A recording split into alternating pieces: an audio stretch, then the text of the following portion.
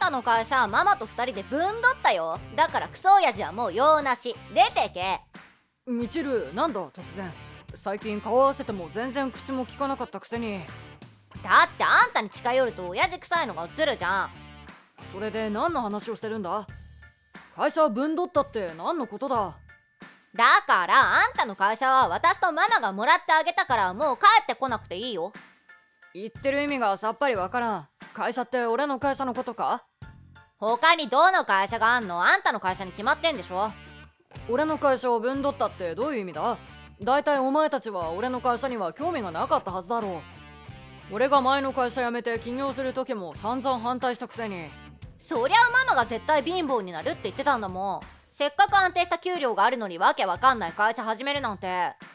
お前たちに不自由な思いをさせないように俺は必死で頑張ってきたんだだから苦労かけてないだろ結構贅沢させてやってると思うけど。そんなの当たり前じゃん。てか全然足りないよ。もっと金よこせ。足りないって好きなもの買って好きなものを食べてこれ以上何が欲しいんだ。ママがねお金を生み出してんのは会社だって。だからその会社を乗っ取ればもっと贅沢できるって言ってたよ。会社ってのはそんな簡単なものじゃないんだ。俺が寝る間も惜しんで働いていたのをお前たちも知ってるだろだからあんたは臭いんだよ。毎日毎日。必死すぎて笑えるんだけど。なんかそういうの見てるだけでイライラする。俺はお前たちのために毎日頑張ってたんだ。ふっざ。そういうの全然いけてないし。じじいって頑張れば頑張るほど惨めったらしいだけなんだけど。あんたみたいなのが父親だなんて恥ずかしいし。恥ずかしいって。俺は俺なりにお前たちのことを考えてるんだ。だからそういうのがうざいって言ってんだけどそれに比べてひろきさんはあんたよりずーっと若くてイケメンだしママともお似合いだし。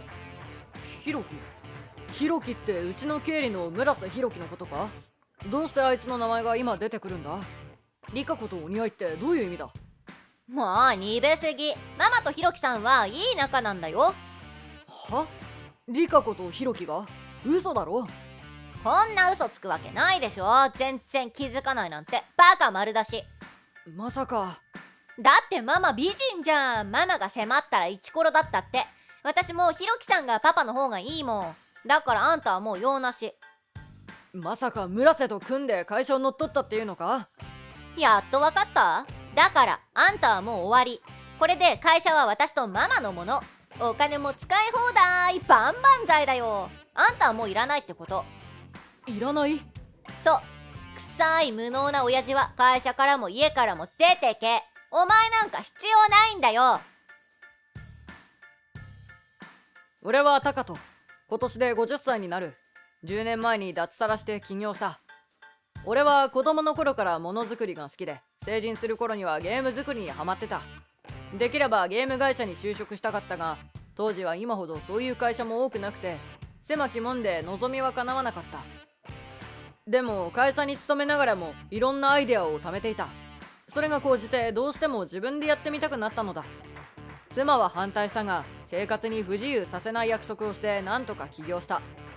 会社もやっと軌道に乗りこれから家族とゆっくり過ごす時間も取れると思っていた矢先に娘からこんな連絡が。しかも妻が俺の信頼していた部下とそんなことになっているとは。村瀬は俺が会社を立ち上げる時に従業員募集を見てやってきた。前の会社はブラックで倒産したと言っていた。俺が普通に給料を渡すとこんなにもらっていいのかと感激したくらいの真面目なやつで俺も全面的な信頼を置いていた。それなのに。その夜。リカ子ちょっとこれどういうことだ？おい。うるさいな。なんかよ。私今食事中なんだけど。今家帰ったら外に俺の荷物が放り出してあるんだけどどういうことだ？え？ミチルから聞いてないの？ちゃんと連絡したって言ってたけど？連絡はあったけど。じゃあ聞いてるんじゃない。俺の会社を乗っ取るとかいう話？ほらやっぱり聞いてるんじゃない。そういうことだから。家にも帰ってこなくていいって言ったでしょ？でもまああんたのことだからのこのこ帰ってくるかもと思ってたら本当に帰ってきたのね。帰ってきたのねって俺の家だぞ。だからもうあんたの家じゃないの。邪魔だから荷物は出しといた。でもまこれも親切よ。親切？だって捨てないでわざわざそこに置いておいてやったんだから。私の思いやりってわけ。優しい妻でよかったね。ああもう妻じゃないけど。妻じゃないってどういうことだ？離婚届は私が出しといたから。お前が出したって？俺はサインしてないぞ。ひろきに代わりに書いてもらっちゃった代わりにってそんなことしていいと思ってんのか？別に離婚届なんて誰が書いてもいいじゃない？いいわけないだろう。何？あんたそんなに私と別れたくないの？そりゃあんたみたいな男に私ほどの美人の妻は二度と来ないでしょうから未練タラタラなのもわかるけど。そういうことを言っているんじゃない。じゃあ何なのよめんどくさいわね。いい？会社も家も私も。もうあんたのものじゃないのこれからは全部私のもの。あんたは黙って出てけばいいのよ。わかった？何バカなこと言ってるんだ。そんなこと本気でできると思ってるのか？逆になんでできないと思ってるの？もう手続きは全部ヒロキに済ませてもらったから。お前村瀬とできてるって本当だったのか？だってあんたなんかよりヒロキの方が断然若いしイケメンだし当然でしょ？だいたい今まであんたみたいなじじいと一緒にいてやっただけでも感謝してよ。感謝って。あんたはもう明日から会社にも行かなくていいよ。行ってももう居場所ないけど。お前たち何かやったのか？今日外回りを済ませて会社に戻ったら社員の態度が妙によそよそしくて変だったんだけど。いやね何もしないわよ。ただあんたがやったことを言っただけよ。俺がやったことってなんだ？あんたが会社のお金ギャンブルに使っちゃったとか外回りと称して若い女囲ってるとか。はあそんな事実は一つもないだろう。でも真面目で通ってるヒロキが説明してその横で私がさめざめと泣いたらみんな信じちゃって。もうね白真の演技よ。私女優になった方が良かったかも。ふざけるな。こんなことしてただで済むと思ってんのか？思ってるわよ。だってもうあんたには何もないんだから。会社も家もお金も全部私たちがもらったの。今ねひろきとみちると3人で祝杯あげてるの。だから邪魔しないで。お前。あんたはそこに置いてある荷物を持ってとっととどこかに消えな。もうあんたの顔なんて二度と見たくもないしブサイクなあんたの顔を見てたらこっちまでブサイクが映りそうなんだもの。さようなら数年後。おひさ元気だった？誰だ？やだ可愛い娘じゃん。たったの5年で忘れるわけないでしょ？俺には娘などいないが。何言ってんの？みちるだよ。ふざけないでよ。そういえば昔そういう名前の知り合いはいたかもしれんが。もう何言ってんのよ。あのねパパの大事な会社が大変なことになってるよ。大変なこと？うんほっといたら潰れるかも。潰れる。今まで出したゲームももう全然売れなくなって。そりゃそうだろ。古いゲームがいつまでも売れるわけないだろ。この世界は常に新しいものが求められる世界なんだから。だってパパはいつもひろきさんがいれば会社は安泰だって言ってたじゃない。村瀬は有能な経理社員だ。あいつが回してくれていたから俺は自由にものづくりに励めたでも全然役に立たないんだ。お金の計算ばっかりで何にも作れないし。そりゃそうだ。もともとものづくりなんてやったことないんだから。まったくとんで役立たずだってよ。いけてんのは顔だけ。だからそれがどうした？今さら俺には関係ない。だからパパ戻ってきていいよ。はあ？だってパパの大事な会社が危機なんだよ。パパだって潰したくないでしょ俺が命がけで育てた会社を奪ったのはお前らだ。だからその会社はもう俺の会社じゃない。お前の力になる気もない。もう連絡してくんな。でででもパパもお金ないでしょ？会社戻ってきたらまた社長だよ。だから立て直しに来てよ。またみんなで楽しく暮らそう。俺は新しい会社で成功した。そっちの会社の売り上げなんてとっくに越したえ嘘お誰だ私よあなたの愛する妻。お前もいたのか。母子揃って何なんだ。成功してるって何よ。そんな話聞いてないわよ。お前が外に放り出していた荷物の中に俺が長年温めていた未発表のゲームがあったんだよ。それを一人で完成させて別名で発表した。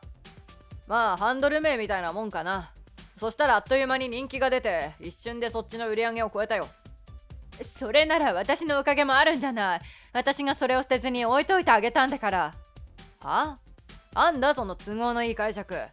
お前のところにあっても何の役にも立たない代物だ。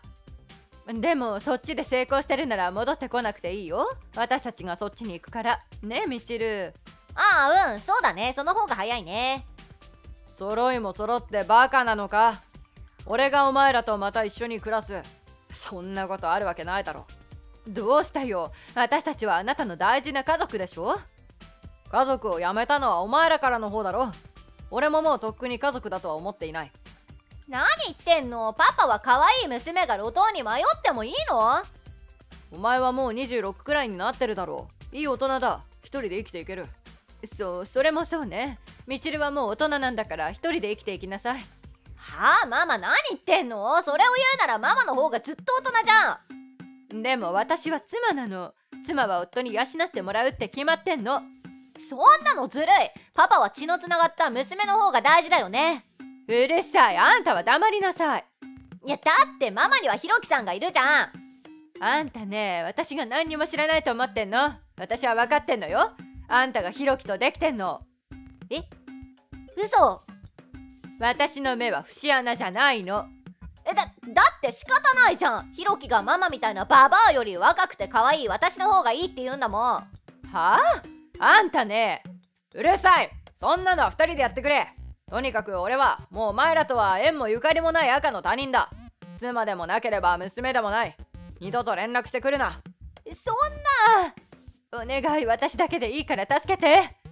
ママはどうでもいい。パパは私を助けて。おだまり。パパは私を愛してるのよあなたお願い私に手を差し伸べて。えー、パパの娘は私だよ。パパ助けて私を見捨てないで。お前らなんかともう付き合ってられない。じゃあな。パパ！あなた私はあなただけが頼りなのよ。後日談。結局前の会社は倒産したようだ。